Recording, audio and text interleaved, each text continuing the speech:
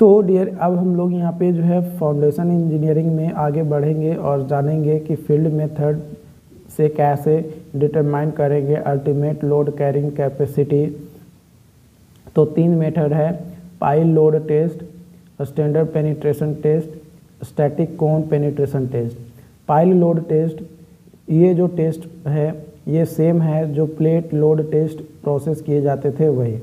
But यहाँ पे जो है प्लेट को रिप्लेस कर दिया जाता है पाइल से और लोड सेटलमेंट कर्व जो है वो ड्रॉ किया जाता है सेम जैसे उसमें ड्रॉ किए जाते थे, उसी तरीके से इसमें भी जो है आपका ड्रॉ किया जाता है। सारा प्रोसेस सेम है, बस जहाँ जहाँ प्लेट नंबर नज़र आएगा, वहाँ वहाँ जो है क्या कर देना है?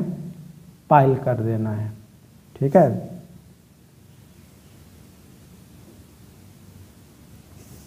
तो यहाँ पे सेफ़ लो यहाँ पे जो जो सेटलमेंट और लोड का जो कर्व है, ये लूज सैंड और सॉफ्ट सॉयल और एन सी सॉयल के लिए इस तरीके का और dense sand stiff dense soil stiff soil और ओसीसी के लिए इस तरीके का जो है आएगा। लॉग लॉग स्केल पे जो है लूज सैंड और सॉयल का जो है इस तरीके का जो है आपका सेटलमेंट वर्सेस लोड का जो है डायग्राम आपका बनेगा।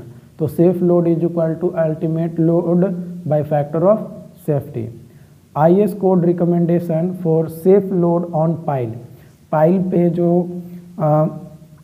सेफ़ लोड लगता है, वो आई एस कोड रिकमेंडेशन किया जाता है।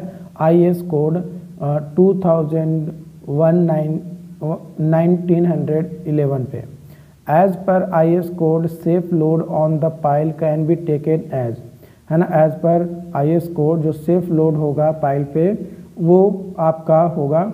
यहाँ पे पहला जो है आपका आ, कि two third of the ultimate load at which settlement attends a value of 12 M M जहाँ जिस आ, आ, डाटा पे सेटलमेंट जो है 12 एम mm होगा तो उस कंडीशन में two by three of ultimate जो है हमारा होगा।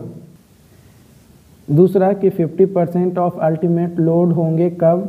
जब सेटलमेंट जो है 10 प्रतिशत ऑफ़ डायमीटर ऑफ़ पाइल को अटेंड कर लेगा, प्राप्त कर लेगा, तब।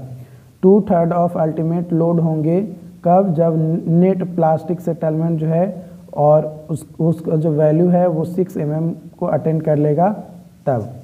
जो सेफ़ लोड है on pile group can be as है ना? जो पाइल ग्रुप पे जो लोड है सेफ़ लोड होगा, वो हो जाएगा two third of final load at which settlement attends the value of 40 M mm और है ना? Final load at which total settlement is equal to 25 है ना? दोनों में से कोई एक रहेगा तो उस कंडीशन में जो है सेफ़ लोड हम लोग दोनों में से कोई एक तरीके से जो है कैलकुलेट कर सकते हैं। जो भी इसमें से मिनिमम होगा, उस वैल्यू को जो हम लोग क्या करेंगे? लेकर चलेंगे। यहाँ पे जो है क्वेश्चन आपका दिया गया है कि find the safe load on pile pile पे जो है सेफ़ लोड कैलकुलेट करना है। If settlement reaches to 12 M M at ultimate load 4000 kilo newton and 20 M M at 6000 newton diameter of pile जो है 200 हंड्रेड mm दिया गया है। तो as per first recommendation safe load is equal to two third of four thousand यानी दो हज़ार छः सौ छियासठ पॉइंट छः सात किलो न्यूटन आएगा और सेकेंड रिकमेंडेशन के अनुसार safe load is equal to one by two into three thousand six thousand यानी थ्री थाउज़ेंड आएगा। तो एक जो फ़र्स्ट रिकमेंडेशन था और जो सेकेंड रिकमेंडेशन था, इन दोनों का यूज़ किए और इन दोनों में से जो भी मिनिमम होगा, उसी को लेकर चलेंगे। तो यहाँ पे मिनिमम हमारा कितना आ रहा है? यहाँ पे हमारा मिनिमम जो है, वो आ रहा है दो हज़ार छः सौ छियासठ पॉइंट छः सात किलो न्यूटन तो यही हमारा जो है आंसर हो गया। बस इजी तो था। कोई ज़्यादा हार्ड एंड वास्ट था नहीं कि आपको जो है बहुत ज़्यादा दिमाग लगाना है। कुछ नहीं करना है। आपको कोई दिमाग ज़्यादा लगाने की ज़रूरत नहीं है। ईजी है। बस आपको एक बार कॉन्सेप्ट क्लियर कर लोगे ना, बस सारा चीज़ें जो है समझ में आ जाएगी। उसके बाद आप बात करते हैं मेथड ऑफ़ इंस्टॉलेशन की। तो मेथड ऑफ़ इंस्टॉलेशन में जो है डिस्प्लेसमेंट पाइल जो है वो ड्राइव इन पाइल होते हैं। ड्राइव इन पाइल जो है दो तरीके का होता है प्री कास्ट और cast in situ cast in situ जो है दो तरीके का होता है केज्ड और एक का होता है अनकेज्ड ठीक है? ये मेथड ऑफ़ इंस्टॉलेशन में हम लोग जो है आ रहे हैं। नन डिस्प्लेसमेंट पाइल है ना? ये तो पहला डिस्प्लेसमेंट पाइल के बारे में मैंने बताया। उसके बाद नन डिस्प्लेसमेंट पाइल में रिप्लेसेबल रिप्लेसमेंट पाइल में दो तरीके का होता है बोर्ड पाइल और एच पाइल ये देखो, यहाँ पे ये जो फिगर है, ये प्री कास्ट पाइल का है। प्री कास्ट पाइल पे क्या करते हैं? हैमर को सेल मारते हैं और वो जो है अंदर जाता है। फिर सेल और केजिंग पाइल होता है, इसमें भी जो है हैमर का यूज़ करके उसको जो है अंडर ढकेलते हैं मतलब पाइलिंग करते हैं।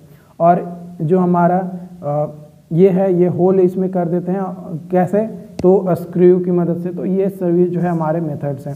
तो सबसे पहले वन बाय वन हम लोग जो है डिस्कस करते हैं कि ड्राइव इन पाइल जो है किसके लिए सूटेबल होता है।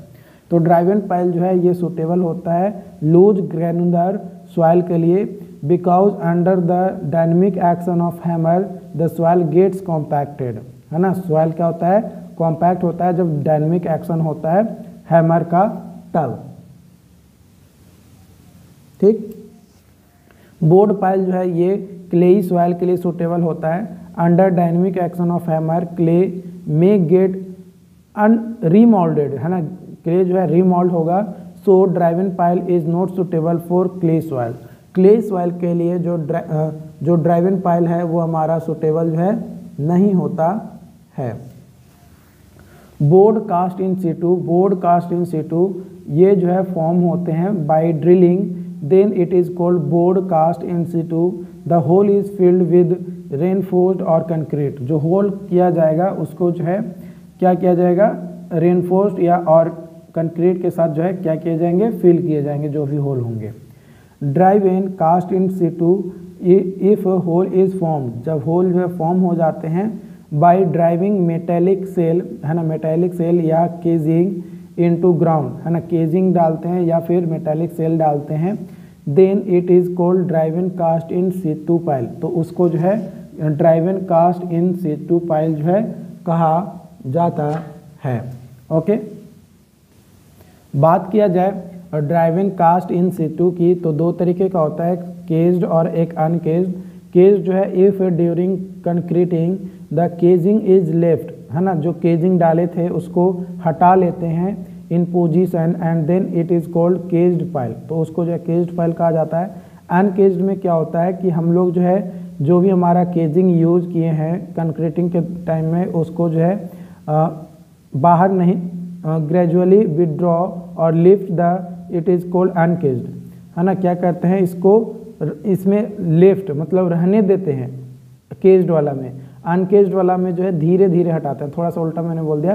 केज्ड में रहने देते हैं और अनकेज्ड में जो है लिफ्ट करते हैं या विदड्रॉ करते हैं धीरे धीरे जैसे जैसे कंक्रीटिंग डालते हैं वैसे वैसे ultimate capacity of pile SPT number के बेसिस पे तो यहाँ पे जो है, देखो Q U P is equal to small Q E B into area plus Q small Q S F into area for driven और डिस्प्लेसमेंट पाइल के लिए Q U P is equal to चार सौ किलो न्यूटन चार सौ गुने N into A B plus two N bar into A S for H pile यानी non displacement pile के लिए Q U P is equal to four hundred into N into A B plus N bar into A S for bored piles या non displacement pile के लिए Q U P is equal to four hundred by three into N into A B plus N bar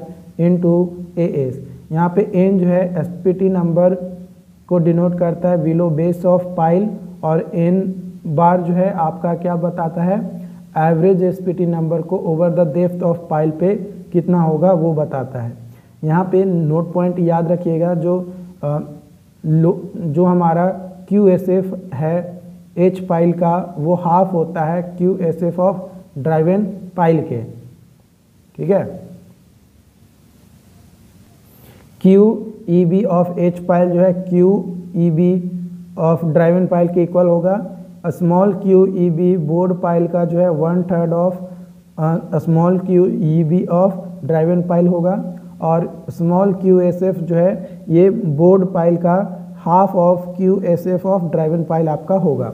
Ultimate load capacity of pile using C P T number C P T number को use करते हुए तो Q ये यहाँ पे जो है drive drive इन या डिस्प्लेसमेंट पाइल के लिए क्या हो जाएगा? Q U P is equal to Q C A B plus Q C bar by two into A S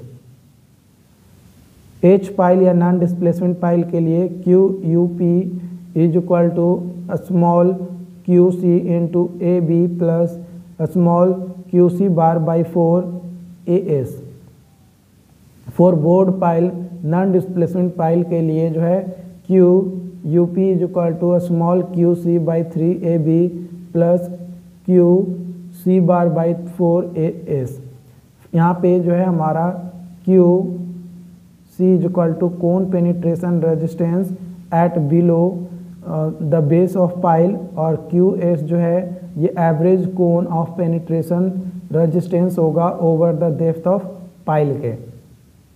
ठीक है? तो ये जो है देख, ध्यान रखना है क्यू स्मॉल क्यू सी जो है कौन पेनिट्रेशन रेजिस्टेंस है बेस ऑफ़ पाइल पे या बेस ऑफ़ पाइल के नीचे, और Q bar C is equal to जो है, ये average cone of penetration resistance है over the depth of pile के। तो डियर आज के लिए इतना ही रखते हैं, बाकी आगे और भी टॉपिक्स हैं, जिसके मैं आने वाले समय में आपको और भी डिस्कस करूँगा। फ़िलहाल के लिए चैनल जो यूट्यूब पे चैनल है हमारा, उसको अगर आपने सब्सक्राइब नहीं किया है तो कर लीजिए जाकर, ताकि आपको जो है और भी कई सारे अपडेट मिल सके. Thank you